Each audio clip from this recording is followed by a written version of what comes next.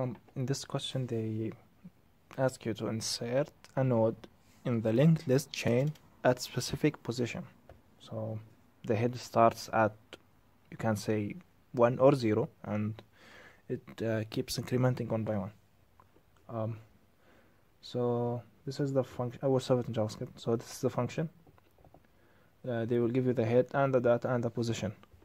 So first thing we need to check if uh, the head is empty or is empty meaning it's undefined or null. So if not head or the position if the position also is zero which means uh, they give us an empty linked list. So we need to make to create the head and just return so new the head itself will be equal to new single linked list data and it will point to null and just return it so this is the first case.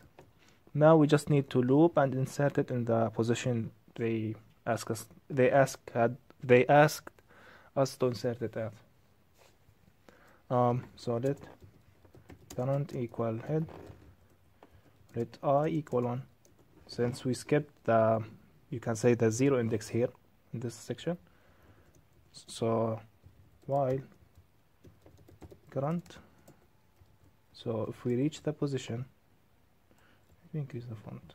Yeah. So like this. So if we reach the position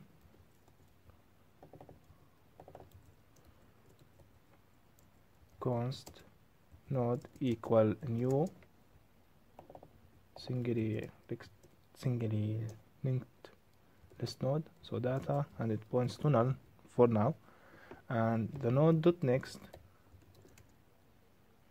will point to current dot next. And the current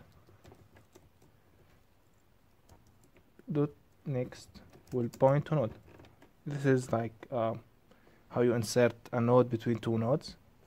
Um, yeah and now return that. So the current node dot next will point to the newly created node and the newly created node will point to the current dot next um, yeah to the current dot next. So but you need to do this part first.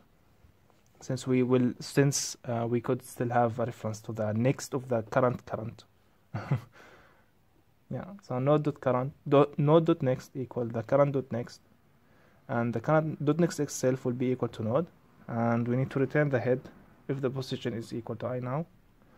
And to make the loop moves we just need to reassign current to current dot next. And we should not forget to increase the i. I think that's it. So let's run it. And then submit